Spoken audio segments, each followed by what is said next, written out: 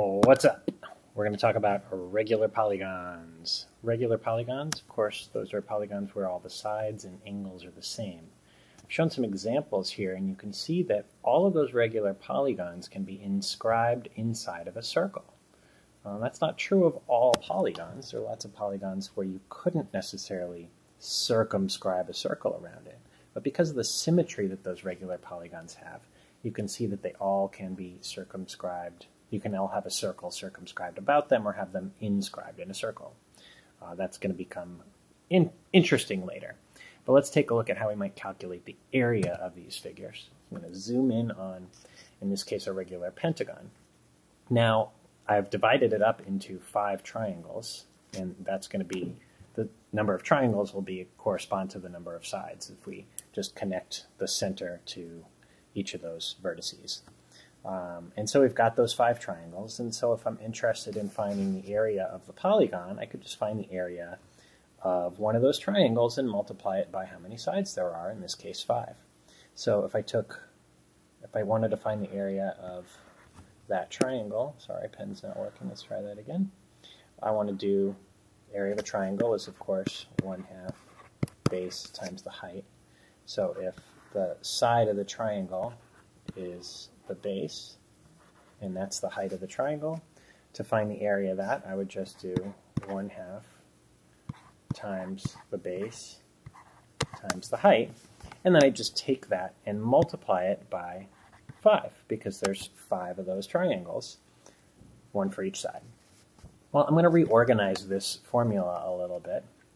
So I'm going to rewrite it as 1 half times the height times the base times 5.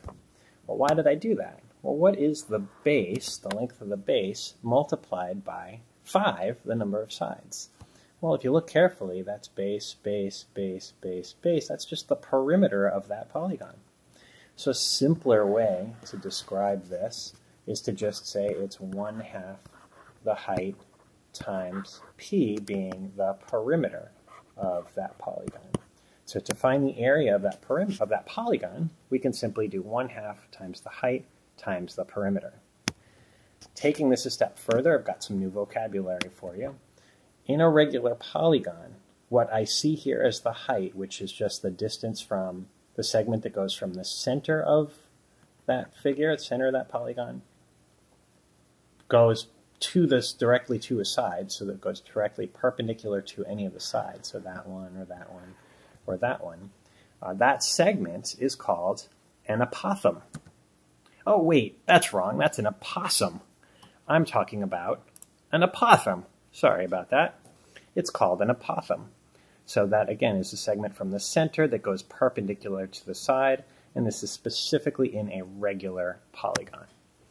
So, taking that formula one step further, that height is really the apothem, so the area of a regular polygon can be found by doing 1 half times the apothem times the perimeter. And that's how you can calculate the area of a regular polygon.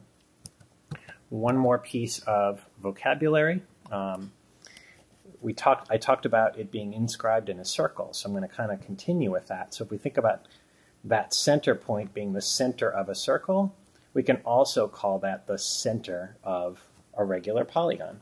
So it's the same term, center, and it kind of means the same thing, even though it looks a little different inside of a polygon.